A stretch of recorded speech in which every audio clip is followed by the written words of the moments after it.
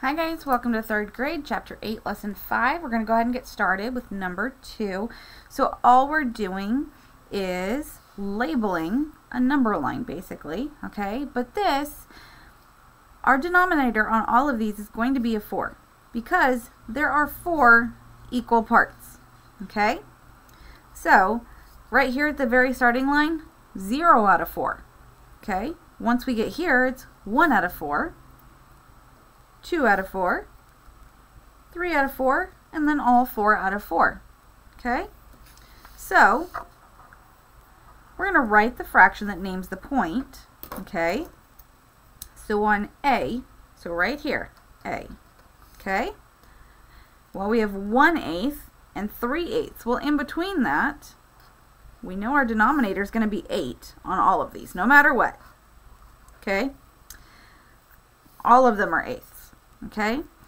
Now, in between 1 and 3, there's 2. It's pretty easy, guys. On B, in between 4 and 6, 5. Okay? C, see if you guys can do C on your own. Okay?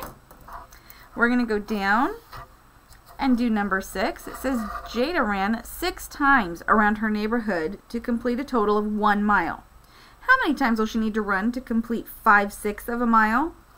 So, 6 times is 1 mile. So 6 out of 6 is 1 mile. Okay? So how many times would she have to run to do 5, 5 sixths of a mile? That's just 5 times. Okay?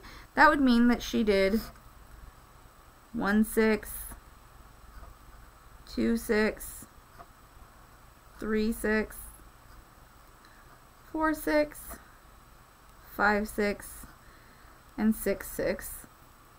Okay? And they want to know how many times to run 5, 6 of a mile. Well, that's 1, 2, 3, 4, 5. Done. Okay? A missing fraction on a number line is located exactly halfway between 3, 6 and 5, 6. Well, we know the denominator is going to stay the same. That doesn't change. Okay? What number is in between 3 and 5? Four. Done. All right, let's go into the back where you guys are going to do the lesson check just like always. Okay, and we're going to go down and do the spiral review. Each table in a cafeteria can seat 10 students. How many tables are needed to seat 40 students? So, 40 students, 10 at each table. How many times does 10 go into 40? Well, 10, 20, 30, 40, that's 4. 4 tables. Okay. All right.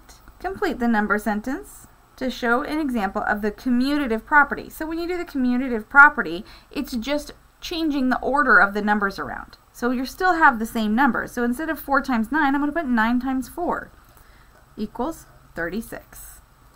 Okay? Pedro shaded part of a circle. What part did he, okay, so I know that it's really tough for you guys to see this. So I'm going to go ahead and color this in.